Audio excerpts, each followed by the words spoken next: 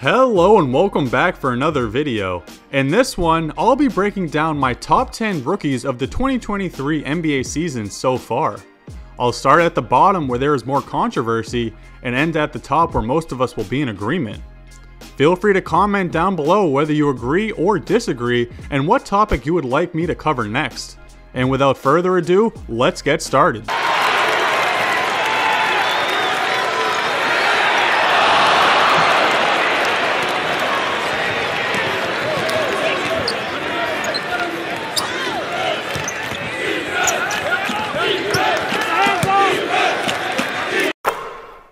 Let's start off with number 10, and the number 10 rookie so far in the 2023 NBA season is AJ Griffin from the Atlanta Hawks.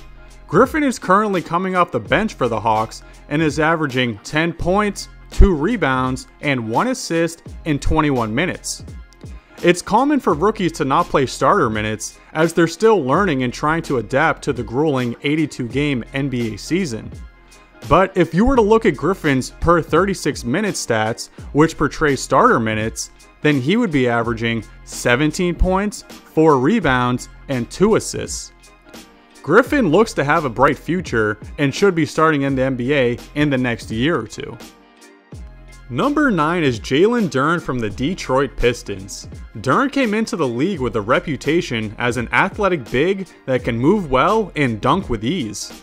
Furthermore, Duren also got player comparisons to Seattle Supersonic legend Shawn Kemp. Duren is currently averaging 8 points, 9 rebounds, and 1 assist in 24 minutes, but his per 36 stats are 12 points, 13 rebounds, and 2 assists. Duren currently leads all rookies in double doubles with a total of 10. And if he were to have started all year, then that number would be much greater with even more ferocious dunks. Number 8 is Jeremy Sochan from the San Antonio Spurs. Sochan came into the league with a player comparison to Hall of Fame bad boy Dennis Rodman. Not just because he dyes his hair, but because of his strong defensive play and ability to fill up the box score across the board. Sochan is currently averaging 10 points, 5 rebounds, and 2 assists in 26 minutes. Now, Sochan has started 38 of the 41 games he's played for the Spurs, but if there's one thing you should know about Hall of Fame coach Gregg Popovich, it's that he'll pull anyone out of the game if they aren't playing correctly, which many rookies do. If Sochan were to play 36 minutes per game, he'd average 13 points, 7 rebounds, and 3 assists. Let's see if Sochan can retain his reputation as the modern day Dennis Rodman moving forward. Number 7 is Jabari Smith Jr. from the Houston Rockets. Jabari has started all 44 games he's played in for the last place Rockets, so he's had plenty of opportunity to learn and grow. Jabari was drafted 3rd overall in the 2022 draft and has played decent, averaging 12 points, 7 rebounds, and 1 assist in 30 minutes, and 15 points, 9 rebounds, and 1 assist per 36. The Houston Rockets management might be scratching their heads right now, wondering if they took the right pick, but have no choice but to ride it out at this point. Jabari Smith Jr. came into the league with a player comparison to Rashard Lewis. Let's see if he can live up to it. Number 6 is Walker Kessler from the Utah Jazz. Walker got drafted by the Minnesota Timberwolves, but got quickly traded for three time Defensive Player of the Year, Rudy Gobert. So he had big shoes to fill in Utah right out of the jump. And if I'm being honest, Walker has filled them pretty well, averaging 8 points, 7 rebounds, and 2 blocks in only 20 minutes per game. Even without his per 36 stats, Walker is already averaging more blocks than Rudy Gobert on the season, and has more total blocks than him as well. If you were still wondering what Walker's per 36 stats are, then they're 14 points, 13 rebounds, and 3.5 blocks, which would lead the NBA at the moment. It seems clear now that the Jazz won that trade, and the Wolves might have regret on their mind from here on. Number 5 is Keegan Murray from the Sacramento Kings. Murray is currently averaging 12 points, 4 rebounds, and 1 assist in 30 minutes, and 15 points, 5 rebounds, and 1 assist per 36. Murray has started in 43 of the 45 games he's played for the Kings, and he's had a winning impact as the Kings have been a top 6 seed in the Western Conference for a good portion of the season. The Kings will need Murray to continue the strong play as they look to break their 17 year playoff drought and go deep into the playoffs. Number 4 is Jalen Williams from the Oklahoma City Thunder.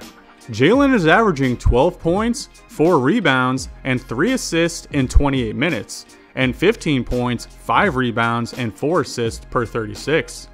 Jalen started the year coming off the bench, but once he got to show his worth in the starting lineup, he never looked back as he started in 31 of the 44 games he's played this season. It seems J Dub gets better by the week as he just dropped his highest scoring total of the new year last night with 24 points against the Atlanta Hawks. His versatility has only grown over the course of his rookie year, as he's shown he's a reliable shooter, secondary facilitator, and a high IQ player that always seems to be in the right place. J Dub looks to have star potential, let's see if he can grow into it. Number 3 is Jaden Ivey from the Detroit Pistons. Ivey is currently averaging 15 points, 4 rebounds, 4 assists in 30 minutes, and 18 points, 5 rebounds, and 5 assists per 36.